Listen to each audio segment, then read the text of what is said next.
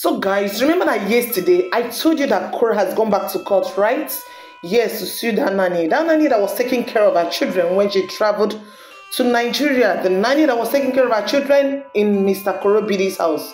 So, guys, I'm going to take you back a little. Remember that when this news broke up on social media that this man was sharing these children's pictures even when they were not wearing clothes, in those pictures, she snapped them like that this woman came out to, you know, she came out to explain herself. She came out to clear her name, to defend herself. So, in the course of defending herself, she said something. But, guys, why did she come to clear her name? She came out to clear her name when some of the group members were like, I wasn't there, I didn't see this, I wasn't part of this.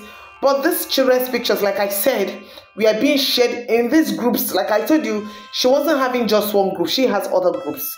So when the group members were saying I wasn't part of this, me, I know follow, I know follow, and all that, I wasn't part of it. I wasn't aware of this. I didn't see. They were trying to defend themselves. Then she came out to clear herself. She was like, okay, you all were saying that you were not there, you weren't there, you are not aware of that. That the father of these children was aware. So she was seeing herself as doing nothing wrong. After all, the father of the children gave his consent. That's one thing I want you I want to bring out in this. I want people to get this point that Mr. Korra Obidi was aware that these children's pictures were being shared in those groups and he was aware that these children were snapped unclad, they weren't wearing clothes. And this woman kept on sharing these pictures, these pictures of these um, children. And their dad was very much aware, according to the woman.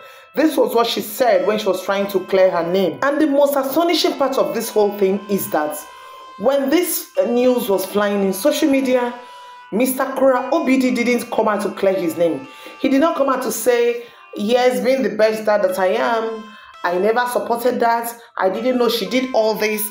I never knew that she was snapping my children. I never knew that she was even snapping my fridge, snapping the environment and sending to the group. I never knew because the woman said that he was aware. That is where the woman has implicated implicated him, you understand? But he never came to clear his name, which is very bad of him, guys.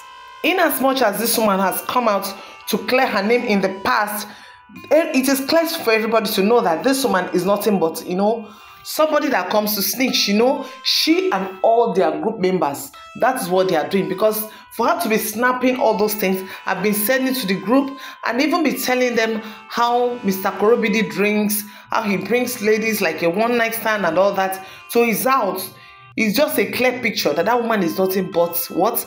An enemy into his home, which is supposed to know. He's supposed to know that this woman is an enemy because this woman has, you know, brought out herself as somebody that doesn't like the ex-wife, and he should know that that woman will be a danger to his children. No wonder June said something. Remember that June told Korra that her father comes to wake them in the night, in the middle of the night, oh, to do some videos, to make videos. And also, she said, Daddy's aunt told me that she does not like she does not like give me love. Remember, guys, when you made that statement in Cora's video, in fact, Cora had to mute it when she was paying attention to June because she was scared that she doesn't know the bombshell that June will release.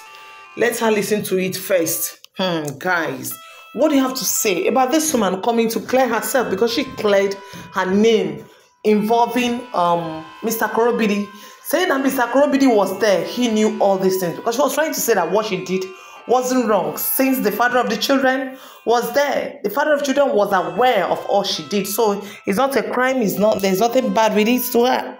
There's nothing wrong with it.